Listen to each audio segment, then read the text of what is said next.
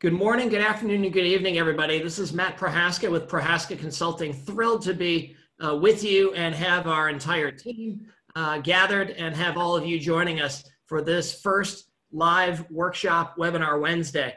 Um, it'll be the first in a series, and we'll talk about the series a little bit later. Uh, but we wanted to give you um, a little bit of a rundown of how today's just one hour webinar will go we'll be doing a little bit of intros and a little bit of um, background on us for the those of you who may not know everything about Prohaska Consulting and who the heck are the folks that are putting on this uh, this event here. Uh, we'll then get into uh, the details and the meat of our content today around how to work virtually uh, with some best practices from our organization um, and uh, a lot of our partners. We'll then uh, talk about um, next we will uh, share some highlights from past training and present training that we've done over the last six years and tease out and share uh, a little bit of our upcoming sessions that will be part of this workshop webinar Wednesday. And then we'll open it up formally and fully for Q&A for ideally at least 10 to 15 minutes. There will be time for Q&A throughout uh, after each of our various sessions uh, and sections today. Uh, and so Renee, our hostess with the mostest, will be opening up the, uh, the phone lines and the video lines, as it were, as we go. Um, our rules of engagement, uh, we're going to leverage the uh, chat function here uh, on Zoom uh, and the raise hand uh, icons, uh, either to chat privately or publicly. and we'll review certainly as we go. So we try to catch everyone asking questions or making comments throughout. and then obviously we'll open it up more during the Q&A afterwards. everyone's going to be auto muted with all due respect during our presentation so we don't have any background noise um, and distractions uh, for the actual content going through. Uh, Renee, again, uh, will be uh, unmuting folks uh, as we go then in the Q&A session as either folks have submitted comments or are visually raising their hands or again using the icon to raise your hand. We then just wanted to point out this will be conducted live in English, um, but we have the wonderful Antonio Menuda uh, one of our great LATAM teammates uh, who will be available um, for Spanish translation afterwards and a little bit during, uh, during the chat. Um, so special thanks to Renee and Antonio for helping us uh, with the live broadcast on this. Um, again, uh, those for the 20 or so of you that we've seen uh, that have joined us in the last two minutes since we got started, welcome. This is Matt Prohaska here, um, normally based in New York City, but based in our home in Fairfield, Connecticut for today. Um, it, a little bit more about Prohaska Consulting, just to give about 90 seconds of context for this. We help every single one of our clients in one of three ways, either with their tech, their targets, or their talent.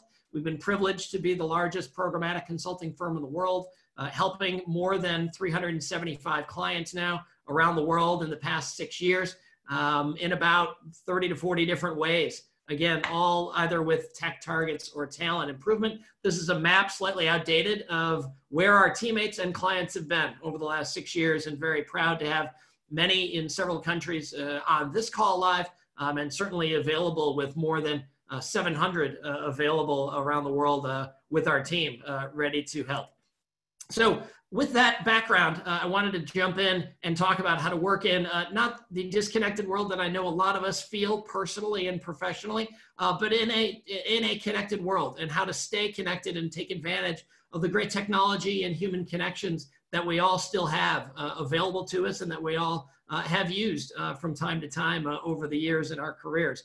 As we know, there is no shortage of, of, either concern, not just about COVID-19, of course, but concern about what this means professionally for our companies, for ourselves, for our colleagues, for our families. Um, and there's no shortage, fortunately, of help out there. Uh, we know that we're not the only company in the world that is doing a webinar with at least part of the content based on this. Um, just yesterday, our friends at Digiday uh, talked about some of the some of the pros and cons of, of selling and buying and negotiating through this technology. Uh, we've already seen uh, We've been using Zoom for several years now, um, but we know obviously Zoom, like Peloton, a couple of the stocks that are uh, fortunately going north these days, as opposed to the majority that are that are going south temporarily. Um, and then we've seen, of course, other great how-tos. Um, there's a PR firm out of Australia that would especially like uh, and think alike in terms of how to take advantage of, of the rhythm and the culture uh, that they've already established that we've been privileged to, uh, to create with our teammates here and that hopefully we can pass along a little bit uh, pass along a little bit uh, to all of you. Um, so uh, this is where our expectation, uh, or excuse me, our experience comes from. This is a group photo, kind of symbolic of what we're doing today and what we know a lot of you are already doing or thinking about starting to do. You can see the uh, Brady Bunch. I had to look up to make sure Brady Bunch was a global reference in media from the 70s and 80s. And it looks like every country knows who the Brady Bunch is from that great TV show with the nine boxes of the family. Uh, we had about 16 boxes lined up there on the monitor on the left. This was from our all hands that we did uh, just in December of this past year. But we've had more than 250 teammates, past and present, already active with us in ten, more than 10 countries. We've only got four physical offices New York, uh, London, uh, uh, Nashville, um, and, uh, and Washington, D.C. Um, with everyone else working remotely, just like Nikki Hawk is right now in our new, our new Toronto office and just like everyone else that we see on video and, and faces and text all around the world here. Um, we also have experience because we have something called the Tech Learning Series that Renee Kajowski has wonderfully run now for many years, more than 500 times every Tuesday and Friday. We have different tech companies present to us through this technology just so we can be smarter and up to speed for our clients whenever there are active or future engagements. So we've had everybody from Amazon that, of course, uh, most folks I'm pretty sure are pretty familiar with. Uh, and then just yesterday we had Deep Root Analytics um, out of DC present to us. So, you know, we've been using this technology to be able to share um, and gather um, and create, again, connective tissue and learning opportunities and sharing opportunities with our team and for our clients for a while. So again, uh, hopefully these best practices uh, that come from our experience uh, can be additive uh, and, and at worst, uh, just more common sense and good reminders for those of you already in rhythm here. So some of the best practices, one key is to stay in real time with each other. We know it, it is uh, difficult when we are physically not connected all the time in an actual office or at a coffee shop or at a bar or at a conference or at a lot of different places that we are used to engaging in real time conversation. So, some ways to stay real time with each other. Try to share your calendars where you can. This is a quick little snapshot of just part of our team and the calendars that we have during the week so we can keep track of who's on first and who is everywhere. Use Slack or other teams, Microsoft Teams or group text to be able to make sure that you've got some connected tissue and that you can stay in real time so you're not having to depend on sequential uh, and consecutive conversations where people might get disjointed. Try to have your organization be as self-service as possible. Um, you know, the, uh, the, uh, the pros and cons of being able to just turn to each other from one cube to the next, uh, whether it's our friends in the US or our friends in the UK, uh, pick whichever office you like the most. Um, but the references are still the same. There are pros and cons with being able to just look over your shoulder and say to someone, hey, uh, wh what happened with this? Or uh, did you get that file on that? Or I can't find this. So getting your systems in place, very, very key to try and be, again, very similar to the same movement in our programmatic industry broadly of moving from managed service to self-service, trying to make your, your company as programmatic as possible using tools like this. So we've, we've moved from Dropbox to OneDrive recently, um, but a lot of file storage there, obviously. And then these are some of the examples of our CRM, our Team CDP, um, who we use for project management software and then financial software to try and be able to have a place where people can go and look on their own, no matter what time zone, no matter what location she or he is in around the world, to try and get answers on their own first for two minutes tops before having to send an email to seven people or to call someone or to send one email to someone and wait 24 hours, trying to be in the moment and help people, again, continue to move, move their own ball as they go. So the, section, the next part here we wanted to uh, touch on is specifically around this, live streaming here. Um, so we've got several tips uh, around uh, just this practice itself. And then we're gonna turn to Kelly Herrick and James Cox, who lead our global recruiting practice uh, globally in New York for Kelly and out of EMEA for James to talk about some specifics in recruiting and hiring for hiring managers that we know are on this call or for folks that work with hiring managers uh, with some tips there. And then we'll get into some of the rest of our content and training um, that again will be part of deeper dive sessions throughout this series.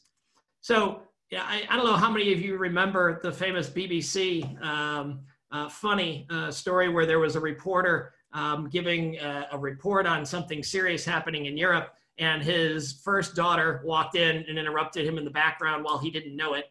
Then his youngest uh, scooted in on her own. And then, you know, um, uh, his, someone came in and rushed in to, to brush them off.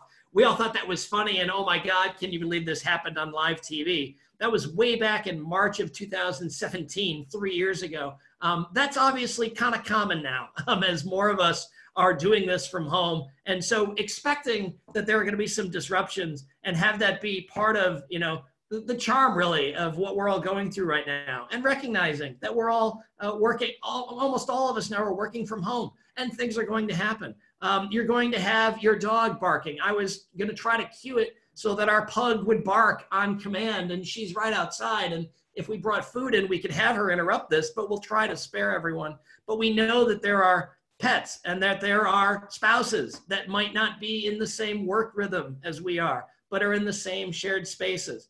Um, so, you know, again, uh, having a little bit of patience and, and taking a little bit of time to smile and, and recognize that we're all going through this together. And so things are going to come up that might disrupt that big pitch or that big discussion or that important interview or anything else we're going through is just part of part of the new normal today.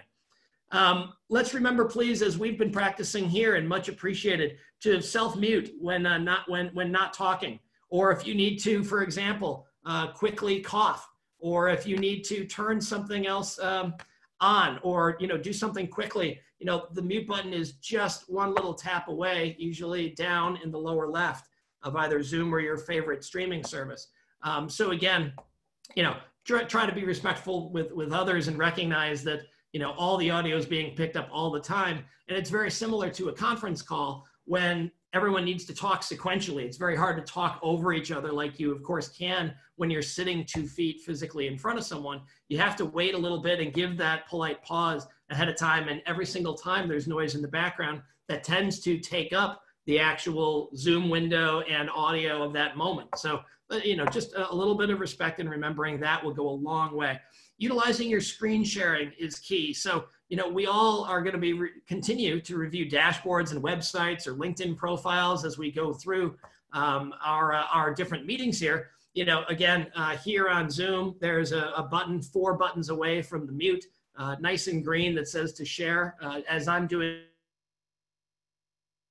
that to someone else, um, you know, very easy to do. The goal is to simulate this type of an experience where everyone is looking at the same screen, everyone is reviewing data or a presentation at the same time while looking at someone eye to eye on the video camera. Um, and again, being able to, you know, simultaneously present or discuss or review something at the same time is huge. So being able to screen share and still feel like you are, you know, with that person in real time going over their business uh, is pretty darn key.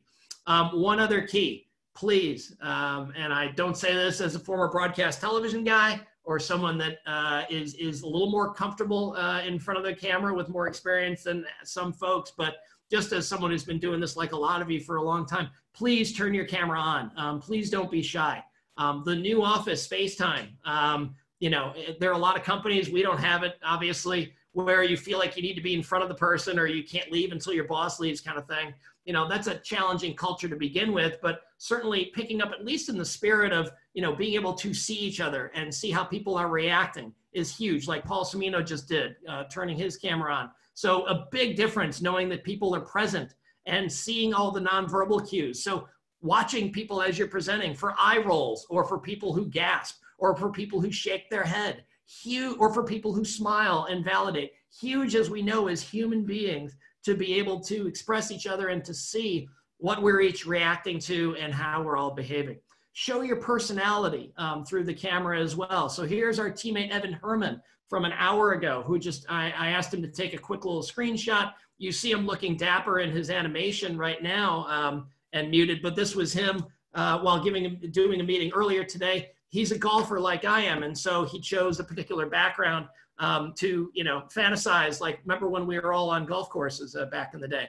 Or remember, remember maybe uh, in the winter when the weather was like this? So you know doing that pti pardon the interruption is a show on espn that was one of the originals here. Having something in the background that is not overly distracting but certainly again allows folks to you know look at something other than uh, my ugly mug for example or others. And again you know i've heard at least 15 times in the last two weeks oh, sorry, my camera's not on. I haven't brushed my hair today. Like, don't worry about it. I know everyone wants to, you know, uh, spend two hours in, uh, you know, in wardrobe. Um, but believe me, uh, see, the, the pro of seeing each other is much greater than the con of, oh, gee, I can't believe, you know, didn't put on the rouge. Like, really, or, you know, Matt didn't put, you know, his zit cream on. Like, really not uh, uh, the point uh, at this stage. So, you know, again, turning the camera on, uh, we, we, uh, we, we applaud and, and ask um, internally and uh, with respect to anybody else that we're meeting with.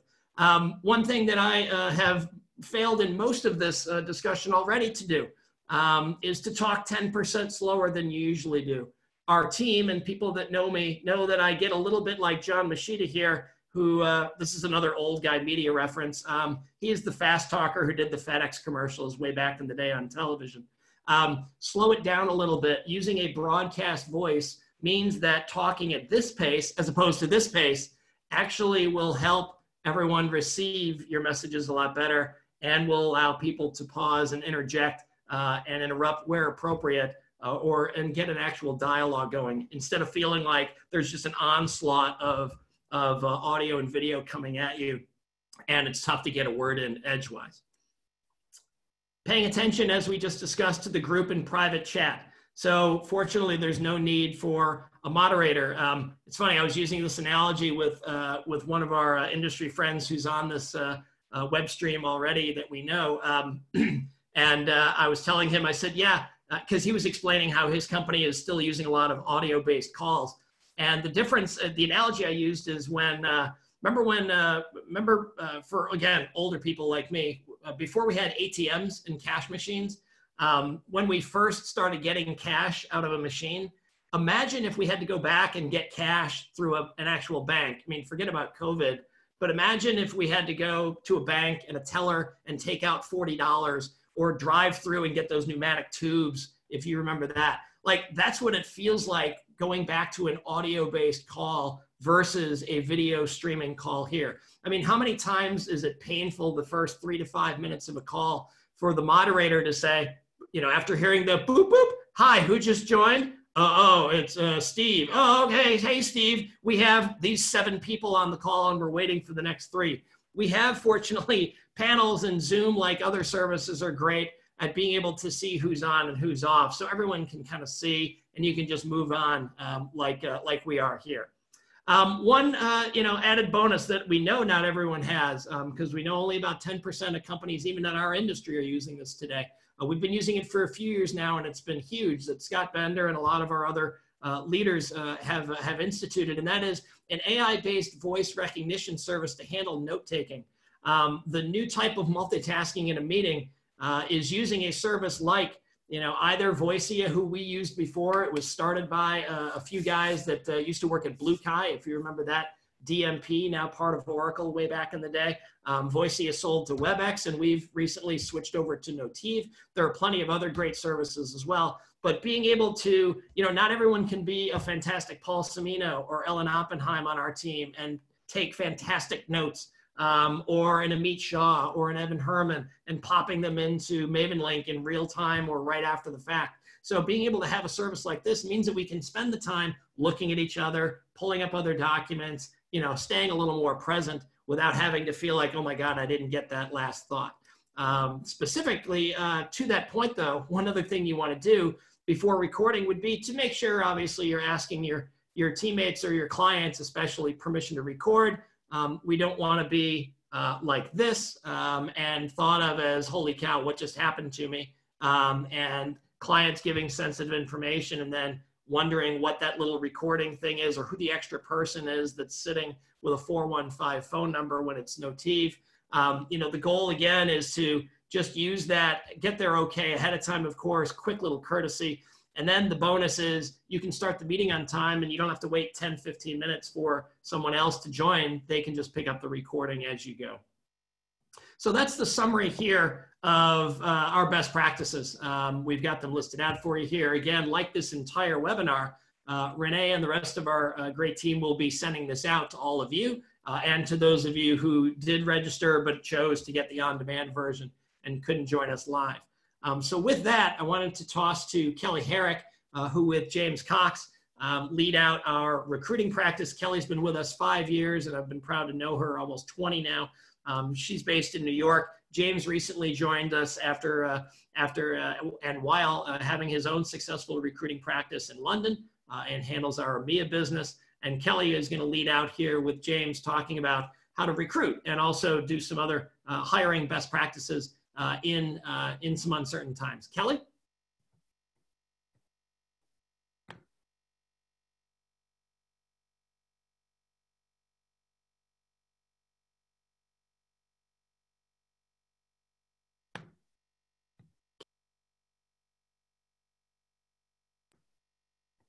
Hi, everyone. Can you hear me? Yes. Okay, great. Um, so thanks so much for joining us. And I know this is a really unusual time and can be very, very stressful when there's a lot of uncertainty. Um, the one thing I, just to give you a little bit of background about me, um, I've been recruiting for about 20 years and specialize in digital media, advertising, and emerging technology. I actually started my company two months prior to 9 11. Um, so I basically went in at, at, and started a company at an incredibly un- uncertain time. And even during that time, I was able to find business. And I'd like to just talk about um, how to maneuver through something like this. So basically, um, in any anytime there there are always hiring things that go on. Usually when there's uncertainty and upheaval like i would categorize now um, a lot of companies uh, trim unnecessary overhead you know get rid of get rid of uh, of expenses that are maybe not needed and really focus on revenue generation. So what i would suggest is taking a look at your bottom line figuring out who really can impact and drive revenue and who can help you keep the lights on and is strong operationally. Also, um, there are times when un- unfortunately you, you do have to make tough decisions and always um, looking at the bottom line and, and figuring out where you need to cut in order to to keep your business healthy and to you know make it through make it through the uh, the current economic climate. So basically, um, in any in any uh, upside on this is there always needs even at the worst time uh, you know i always categorize it i know it's a recession when when certain jobs go away and everything has a tendency to fall back into business development or, or, revenue generation type type of role. So I think probably what's happening now are a lot of people are looking at their top producers, wanting to retain them, and look for other people who can who can help them, you know, achieve success and and uh, keep keep them profitable. Um, one thing that um, I, I always think in this kind of situation, you need somebody who's a self starter who can work from home and then people um, who who are strong operationally and who can help you keep keep your business running and um, just make sure that you can make it through the the uncertainty. Um, so this is one one upside on, on this is um, because everybody's at home and because there there is a, a, a captive audience so to speak if there's been somebody that you've been trying to get in touch with or that you've been trying to recruit, there's a really good chance you'll be able to get that person on the phone or in a video conference now. Uh, a lot of people will be much more available than they normally are. So I would use this as an opportunity to reach out. And also, it's uh, it's stating the obvious, but this is this is a very traumatic for for most people, and so you obviously want to make sure that everybody's being sensitive to that and knowing that people are under a large amount of stress. So uh, obviously, you know, make sure that somebody's healthy and that their family's healthy and and confirm that it's an okay time to speak but let them let them know that you're available to, as a resource and you know again stating the obvious but but always be kind I, I have people come to me all the time and it's sometimes I just don't have the right opportunity or the right the right um, role at the right time. But uh, always try to be a resource and always try to educate them on what's going on and things really can come around. So um, to that, if um, and the the one one last thing is in good times recruiting is hard and in bad times recruiting can be hard. So i would always look at this as an opportunity to to assess and really try to try to figure out what you need to keep keep the lights on and to keep every everything healthy. And please don't hesitate to use us as a resource and let me know if you have any questions. All right thanks and i hope all of this made sense Matt, do you have any questions or do you want to jump back in? Yeah, thanks, Kelly. Um, anything, uh, James, for perspective? I know, um, you know, uh, one thing at least, again, that we all have in common is that there are uh, there are pros and cons and challenges and opportunities uh, no matter what country we're based in, right? Yeah, totally. I just like to say hello. Unfortunately, I spent two hours doing my hair and makeup and I can't be seen. The video's not working, so I'm hugely disappointed. Ah, all that. But, um, hello to everybody. Yeah, I'm James. I've been doing recruitment for about 19 years, started off in IT, then got into financial recruitment, then defected to media, and uh, yeah, sort of started off in you know publishing, and then everything went digital, programmatic. I bought companies like XLA and Blue Skies, Axis, AppNexus, growing their teams in Europe, uh, to mention a few.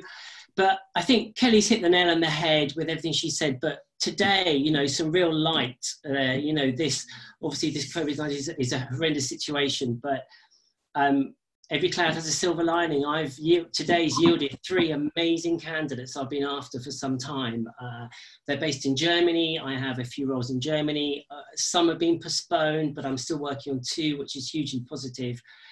And three candidates that I've been after have taken the time to speak to me. I've uh, so I'm really excited about that because, as Kelly said, they haven't got the distractions of their current job in terms of being totally surrounded by their workmates and colleagues. You know, invariably you can get hold of them. So I think it's a really good time for us as headhunters to go to market and find people who normally wouldn't respond to an advert. You know, this is what we do. We, we go to market, we unearth people.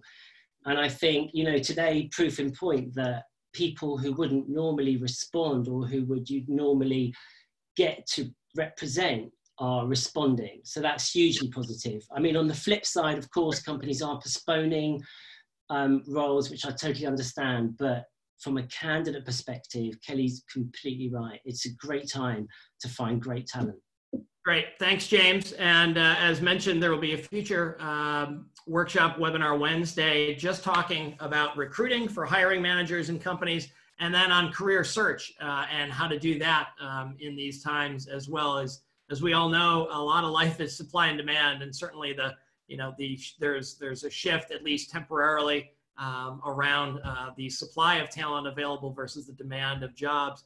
Um, but again, it's early relatively speaking, and we hope uh, and are optimistic that a lot of folks uh, will be continuing to be on offense and recognize the upside, not just in getting more mind share with candidates, um, but also for hiring managers to take advantage of, of the time that folks have where uh, they certainly might be uh, looking a little more at their own careers than on an average Wednesday. Thank you, Kelly and James. Um, wanted to, uh, before we toss to Paul Cimino, wanted to uh, ask and, and see if we can take a shot at taking one or two live questions on audio and or video here, or if Renee, there was anything relevant from the questions that have already been submitted ahead of time, uh, or during, I've been checking the chat as we go. Um, otherwise, we can, uh, if not, we can proceed to uh, Paul Cimino to talk about customer data platforms.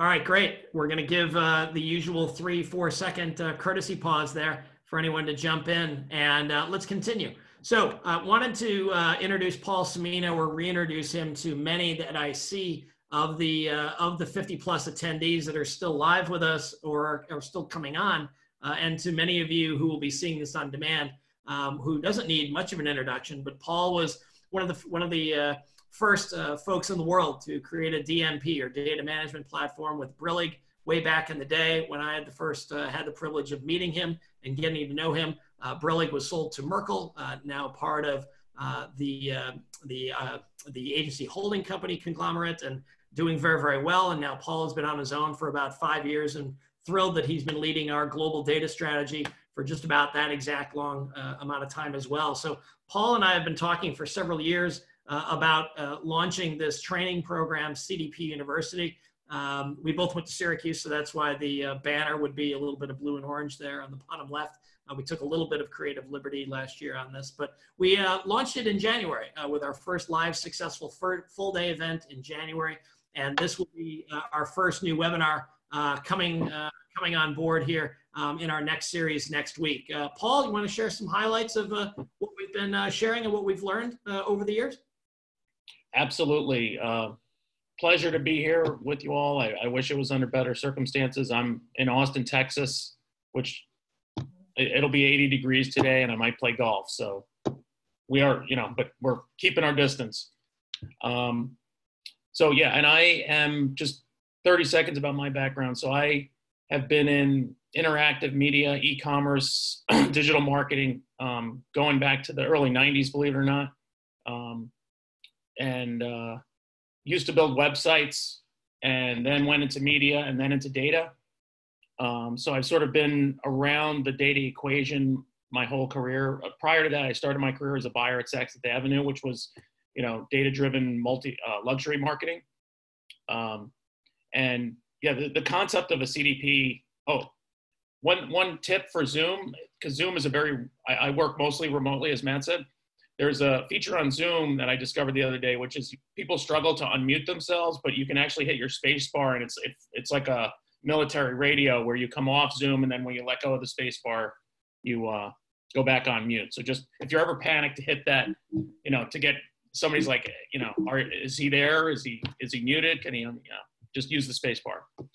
Um, so yes, uh, going back to Brilig, um, we saw sort of what people are calling the identity crisis. Um, and and uh, I actually wrote an article in 2014 called the, saying basically the cookie would be um, obsolete in five years, which the timing was a little off, but and, and, it wasn't that I'm clairvoyant. We just saw in our data because Brilig, even though it was a small DMP data exchange, it was it was you know reaching I don't know we had at 1.700 million devices connected to the database um, around 50,000 segments. Um, and we probably had, I don't know, 50 or 100 things about each row or device. And we could just see as mobile was happening and as all these um, different things that were fragmenting addressability of media and segmentation, it was going to be a real challenge for the industry to hang on to this, um, the cookie. And, and the, because I was an e-commerce person, I also saw that the cookie was actually a first party device that, that we sort of old timers created to maintain shopping carts. Um, we're talking like I started building e-commerce websites in 94, 95. And it was a bummer for customer service. If you went to some time, you went through time, you put stuff in your shopping cart. Maybe you went somewhere else. When you came back, the shopping cart was empty. It was a bummer. First party cookie. Then the, when the first banners were launched, they needed a way to track how many times the banner had been viewed. And they, um, invented the third party cookie and the rest is history. Um, so just uh, talking about CDPs, um, Prohaska has a somewhat unique uh, perspective on it, uh, it, because it's it is another acronym, and there are other sort of synonyms or things that are related to it, like data lake, um, and uh, the way that we view CDPs is really sort of the first business case is the the CRM marketing engine, which is still sort of a number of things. It's email, it's um, it's it's a number of things. It's the melding together of the what Prohaska, if you're looking at advertising from paid, owned, and earned standpoint, the owned media is, if you could just go back, um, where, wherever the CRM information is sitting, melding that together with digital inside of a data lake and then putting different applications on top of it is what we think of as a CDP. And I'll talk a little bit about business cases in a second. Um, so and then moving on, uh, we, we sort of use this brain metaphor, uh, which the, the diagram on the left is all of the fragment, fragmented types of media, paid, owned, earned, everything. And, and you pretty much have, for any brand, you have um, many channels, many screens, many identity providers, many um, data providers, many sources, and many places where you can place media. So what, what seems to be happening is the, the first iteration of the CDP or of, even if you just think about it as enterprise marketing or solid state marketing or all together marketing is CRM data coming together with digital data. Um, and that's, that's sort of the, those are a lot of the business cases that we're seeing and that we're working on and that, and um, you're seeing different vendors from the CRM space coming into the digital space, calling themselves CDPs, and you're seeing digital people trying to get to the CRM side, calling themselves CDPs. So it's a little bit of a wild west right now. The way we think of it is enterprise marketing. Um, the other part of this that we're seeing that's pretty consistent is that this is about first party enterprise marketing, the CDP. Um, and if, if you just remember back to my uh, statement of the CDP being the CRM place where digital uh, and CRM comes together, that's really about the mid funnel. Um, the market is still fantastic about building awareness, whether that's through linear TV over the top. You know, brand marketing is very solid. There's so many choices, and DSPs have just done a fantastic job along with the, the walled gardens. And then also at the bottom of the funnel, loyalty, you know, conversion to acquisition, prospecting, and, and converting people from uh, consideration level consumers to customers is very solid state. What's broken is the middle. Where, where do you go from brand marketing, which doesn't have a lot of data around it? It's mostly geo, it's very loose. How do you get that into the lower funnel? That's where the CDP is key. And the first business case that we talked about of CRM and digital coming together is key. The other thing is first party is is important. So this is a little bit of an eye chart of sort of all of the elements that are attached to and um, uh, that are involved in CDPs.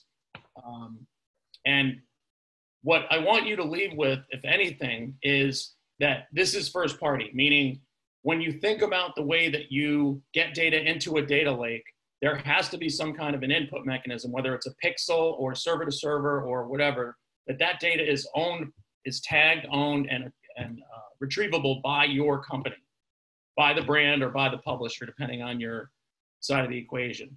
So first party data. Um, and the other key element is this is about identity. So addressability, whether you're talking about the, the, the, the sort of um, the constrictions around cookies, whether they're government regulations, whether they're ad blockers, whether they're the, the browsers being more restrictive about their party cookies, you have to have some kind of a strategy that's first party to build an identity technology that allows you to access the market. So some people will call that a graph, meaning you have like a little Rosetta Stone of things that allows you to talk to other people's data. That's yours. Um, we think that is key. So identity and addressability have to be first party. Um, it's it's on the system in the in the sort of lower right. The other key element that we talk about and that we're actually in the middle of deploying for a number of people is machine learning, which is a million things, but it's really what it does is it gives you the ability to identify or segment um, in a proprietary manner on your first party data um, in a way that fills in the blanks or does look-alike modeling. And this technology has existed for a while, but making that your own is very is very key. Um, and we have a lot of examples of that. Thank you, Paul. So just to uh, to to wrap this up, I do want to get to. I know we want to make sure uh, we uh, we not give away too much of uh, or uh, provide too much from uh, what CDP University will be doing in at least a two-hour session in a future webinar.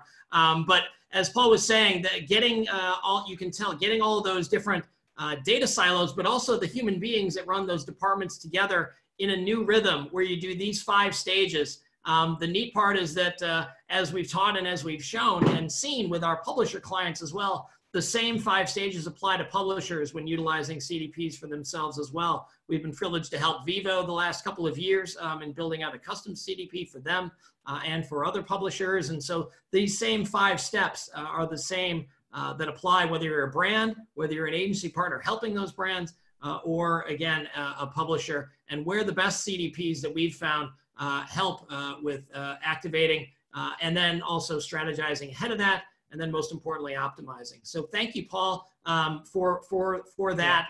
And also, again, the years of helping build out this curriculum together. Um, we're going to hold off on questions because I want to be sensitive to everybody's time. And um, I know we only have 17 minutes left. We do have two other quick uh, items we wanted to get to before opening it up for Q&A. So over the next two to three minutes, we'd love to toss to Jason White, uh, based out in Palm Springs, California. Uh, many of you know him having uh, been the man at CBS and running a great department, leading the programmatic and other practices there for many years. We've been thrilled that for the last few months, Jason's been a part of our team helping build out a lot of the identity solutions, either for the whole industry or for individual clients. And Jason wanted to just give a little bit of a, of a context here and to set Jason up a little bit um, you know, and, and, to identify kind of why we've uh, gotten to this place. As uh, Paul and a couple others have already highlighted, we know that we have three companies who are doing pretty darn well, uh, COVID or not, um, in winning a lot of ad dollars, not just in the US and UK, but really every single developed country outside of mainland China. And why is that? Well, they have the best deterministic identity and they've done the best job of attribution and measurement. Um, we think these are the two largest challenges in the entire industry, especially when you um, uh, create an accelerator like one company's browser uh, deciding to give a two-year deadline about a two-year deadline uh, to be able to shut off uh, third-party cookies. So fortunately, uh, necessity is the mother of invention and a lot of uh, firms and the entire industry in many countries have now started to rally around what a post-cookie world would look like. Jason, you want to walk through a little bit of where we've been helping our clients? Absolutely, Matt. Thanks for the intro, and uh, everyone, great to uh, great to join you this Wednesday, and uh, and wish the best to you all. And again, wish we were under different uh, uh, different uh, situations and times, but um, all the best to everyone there, and I hope everyone's families are safe. so when we look at kind of the momentum of first party, piggybacking on what Paul was talking about earlier. Um, at the heart of everything that's driven my interest in this from CBS and beyond um, has always been exactly what Matt was talking about uh, being able to get to a deterministic place, um, understanding that the world of the cookie is our enemy um, as a publisher. Um, and three years ago, started having conversations with a lot of the largest publishers, platforms, and agencies out there on how we can partner together uh, to build a more sustainable ecosystem that's deterministic, um, that's accountable, um, that is privacy and compliant, um, and so when we kind of look at the solutions that is presented to us now, we have an event horizon, uh, you know, piggybacking on what Matt was talking about earlier, um, the end of the cookie as we know it. Uh, we see this as an opportunity that we can re-architect or rebuild the uh, platforms uh, across platform, across the ecosystem. Um, so this is gonna center on trust. Uh, we have to have trust and the consumer um, at the front of any solution that we put into the marketplace. Um, if we don't have that, um, then it's no better than the cookie um, in anything that we've done before. Um, education is paramount. Um, educating all of the uh, individual members wherever they reside in the ecosystem. We'll get to some of those individual entities as it relates to programmatic shortly. Uh, but everybody has to be accountable, ensuring that both uh, the marketers and the publishers um, have agreed upon compliance standards. This is going to be important and this is the road that lies in front of us. Um, and of course, content is key. Going to the next slide, please. So what we basically built is we built an ID transaction flow um, of, and we kind of use the I'm just an email on Capitol Hill reference to Schoolhouse Rocks for those of you that are uh, Gen X and, uh, and below. Um, we have our email kind of going through the ecosystem here um, as the consumer. Uh, consumer comes to the publisher's site. The publisher offers a value proposition at CBS. Uh, what we wanted to do to acquire more first-party email addresses uh, was to offer um, our SVOD product, All Access, for free, potentially for 30 days. Now, this is a test. Uh, but we have to start somewhere to incentivize the user to create that relationship with us. Um, this obviously would be encrypted. Um, it would be secure uh, through our SSO provider. Um, and then we would ultimately convert that into an ID, an ID that could be sent along to an SSP. Um, an SSP would ultimately receive that ID. They have their own integrations with identity resolution providers like LiveRamp, like Brightpool. Um, and that would be passed securely and safely onto the DSP. And at this point, this is where the marketer can use the DSP to target these IDs just like they do with a cookie today. However, uh, the advantage that they have is that they actually know that it's that individual user. Um, an example that I always use is when I come to my home computer and even when I come to my laptop or even some of the tablets that we have, um, it thinks that I am a Nordstrom high heel shoe shopper. Um, and I have no desire uh, to get retargeted ads with uh, high heel shoes. I mean, they're pretty. Um, I think they're great for my wife, uh, but they're not what I want to see in terms of a custom tailored experience um, when I'm online. So as you can imagine, when you get, get into a future state, um, individual consumers are going to be able to log into their individual sites and they're going to be able to see a customized experience not only does this have value from a consumer perspective, but think about it from an advertiser's perspective.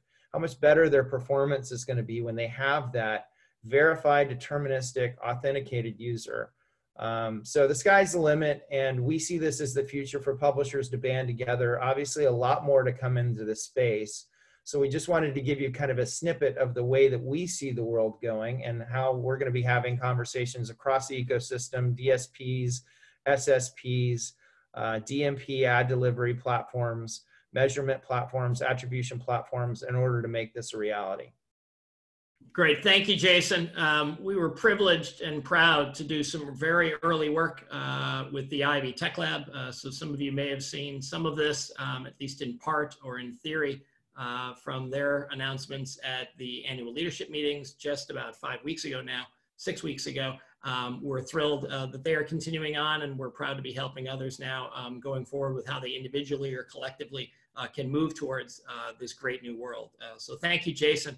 Uh, let's move quickly to Scott Bender and our last uh, quick little section tease out here. We, again, just similar to CDP University, we will have a deeper dive on how to help folks solving their own identity, either crisis or prepare for this nice evolution or revolution around identity. Uh, one, uh, we're also proud uh, that in our six years, we're pretty darn sure we have trained more sellers and buyers and operators uh, than anyone uh, independently driven in the world on how to do it programmatically. and that's been in, in, great part thanks to Scott Many years and is ready to share a few thoughts on how to sell programmatically. Yeah?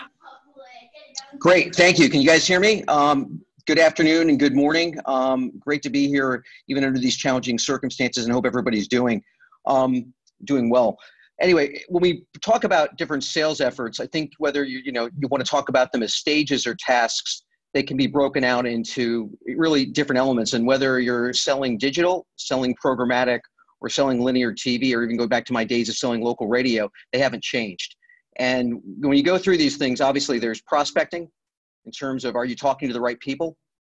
Um, are you talking, so whether it is the person, and when we talk about programmatic direct versus direct IO sales, is it the person at the digital that owns the digital budget? Is it the person at the trading desk? Is it the person at the separate account group? Is it the video investment team?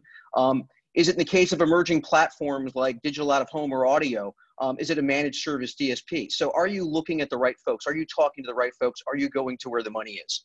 So that's first and foremost. So again, doesn't change. Then we get into pitching. If are you asking the right questions? How are you measure? How are they measuring their KPIs? How are they looking at attribution and performance of the campaign? How are they working with their own first-party data or second-party data partners? Or referenced before, are they working with a CDP?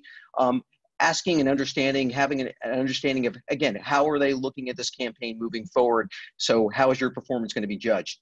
And then we get into just proposing, um, is your offering clear versus the world of direct IO um, or even linear TV, where we've all you know been experienced or been a part of these general media kits and 30-page reports. In the case of programmatic direct, the five stages of programmatic direct sales, it's really about you know uh, a clear, simple, synthesized offering. Which SSPs or platforms are you working with? Um, you know, which uh, what type of pricing model are you working with, whether it's programmatic guaranteed or programmatic direct. It's a one sheet. It's not 30 pages, and it's very very quick and, and simple and to the point. And that's how you have to consider when you look at programmatic direct, whether it's private marketplace or other different types of auction models. That's that's the where that's how it's set up. Then you get into the next stage is closing and launching from proposing you go to the, uh, the, and that's really really very simply and i think our world whether it's selling tv or selling uh, direct io it's always been about you know you close the deal you throw it over to the operations team over to the side and you set it and forget it and you move on to your next deal. In programmatic direct sales that is not the case. You uh, have to make sure that it is actually meeting the expectations it's generating the audience the impressions that you expected expected it to get so you cannot set it forget it. And it's not a matter of checking two weeks from now or a month from now. It's checking the next day to go ahead and find out if it's actually meeting the expectations of what it's supposed to be doing. And then finally, it's op- optimizing and upselling um, in terms of, you know, how is there more more of an opportunity to drive more dollars? One of the challenges that people bring up to me constantly about programmatic dollars or direct dollars versus direct IO is that these dollars aren't guaranteed unless it's maybe programmatic guaranteed. You're right, they're not guaranteed. Just as though you may lose those dollars over the course of a quarter, you actually could go back and drive more additional dollars. Budgets are dynamic; they're not quarterly. You're not, you're gonna, you don't need to wait back till the next uh, quarter to see if something works. That's why it's a matter of coming back, having conversations, and in this world that we're now operating on more of a virtual sense, certainly picking up the phone, having a, an email with them, saying, "How are we doing? Um, how's this audience performing? Would you go ahead and like more?" So certainly a, a great opportunity in, to, you know, again, be involved and uh, and drive more budgets and drive more business. Bottom line with all this, just as you've seen with all these stages, um, you know, while the way we're you know transacting through business on a programmatic basis is changing, at the same time you still need human interaction. You still need people, whether it's in person or virtual, to go ahead and drive these deals. So we can get into this in a lot more detail in uh, in future webinars, but at least wanted to give you kind of a, a sense of what we're talking about here in this new world. Thanks, Matt.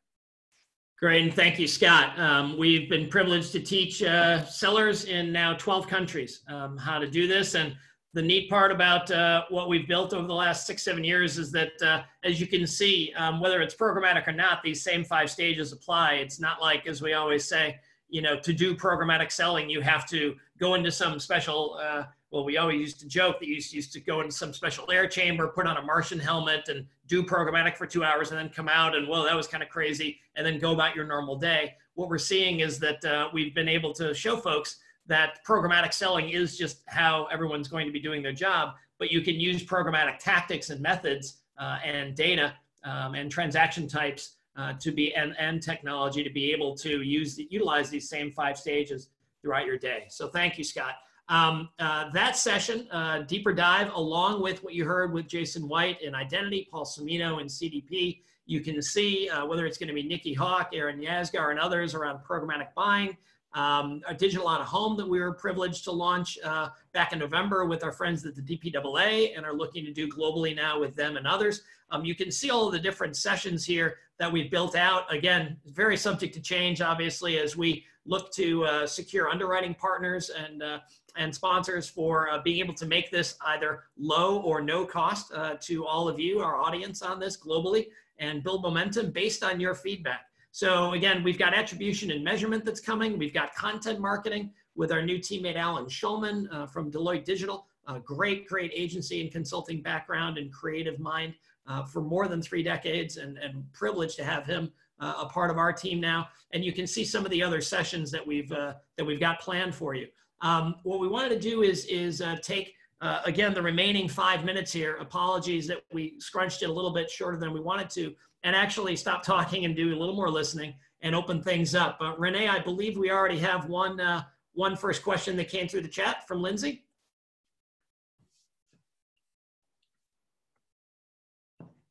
If Renee's on pause, I'll go ahead and answer it. It's yes, sorry about that. Yes, uh, one of the questions that had come through um, prior to the call was um, was how can we sway brands to continue to invest in our digital branding services at this time?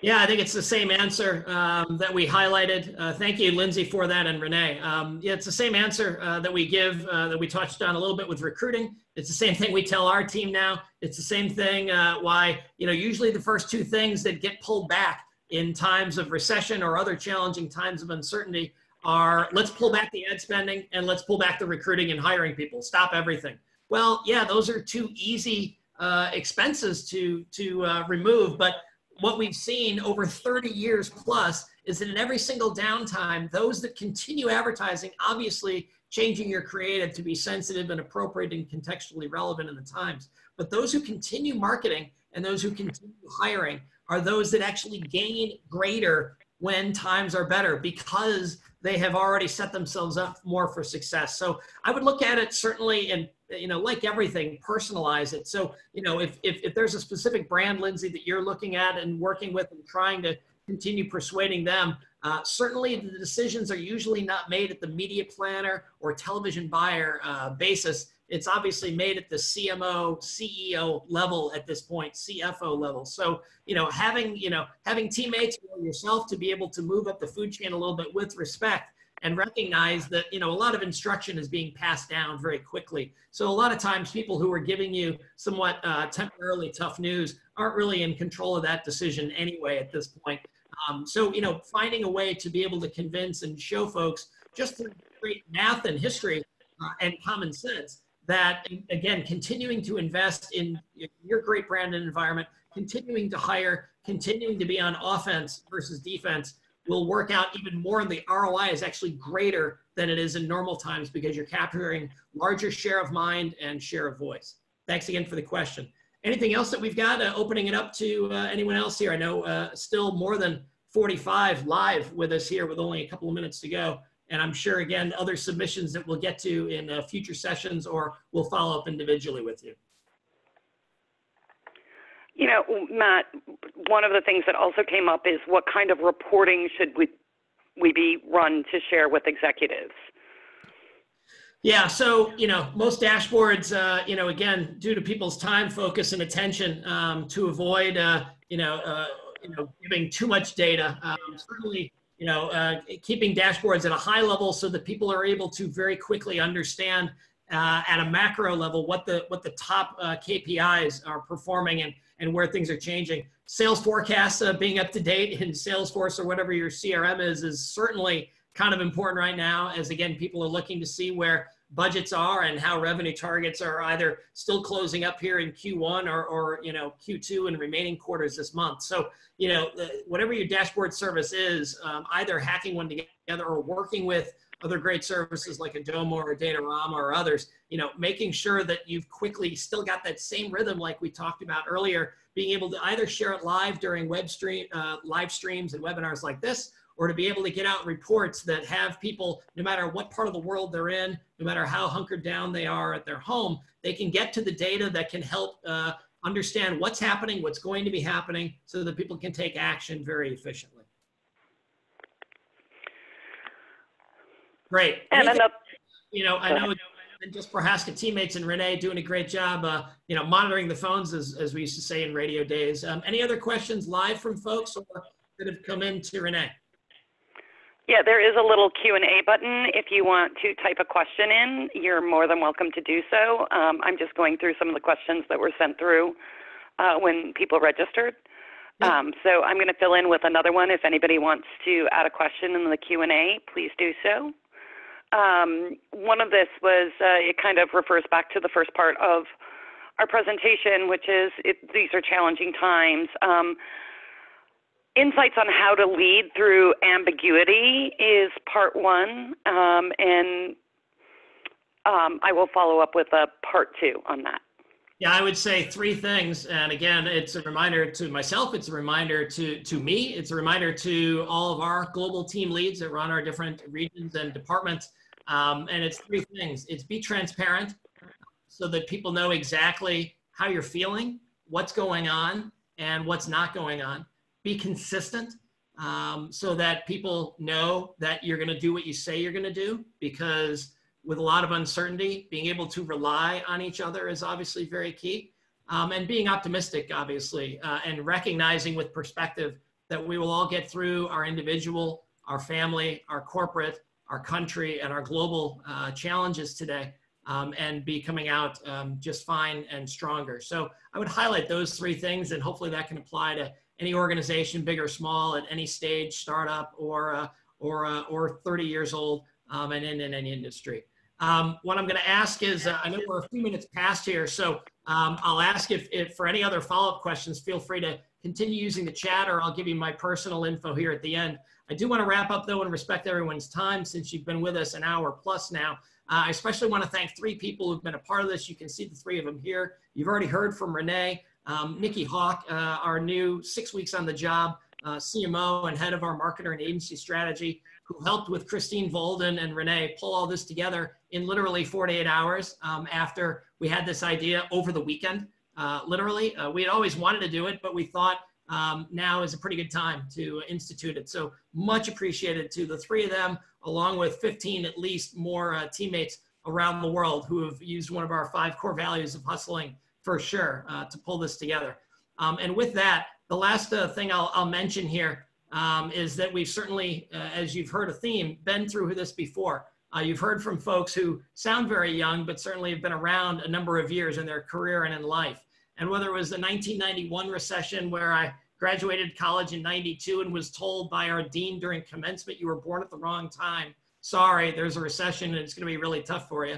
Um, we got through that. Whether it was those of us who remember March of 2000 um, when the NASDAQ was at 5,000 and, and that was a crazy high at the time. Uh, when the early uh, first kind of 1.0 dot-com bubble burst and we had those challenges, we got through that. I think we all know what happened on 9-11. And so we all got through that relatively strong um, and, and hopefully where we weren't personally impacted with our family and friends too much, but at least economically uh, we moved on and we're able to pick ourselves up from that. Um, and then just 11 years ago, frankly, the last time we had a recession uh, due to the financial crisis, we got through that. Um, so the theme is um, we're all going to get through this together, uh, no matter whether you're part of our firm, part of our competition, uh, so-called competition, uh, part of the industry, friends, um, you know, we will all uh, move together forward with our families and our loved ones um, and everyone in this industry and in all. So uh, the last message we wanted to say is the one that we meant to open with, and that is certainly, you, as you heard from our teammates in, in their opening comments, wishing you and yours, your family, your teammates, and your partners uh, a very healthy and safe uh, time. Um, please let us know what we can do first personally for you to help you.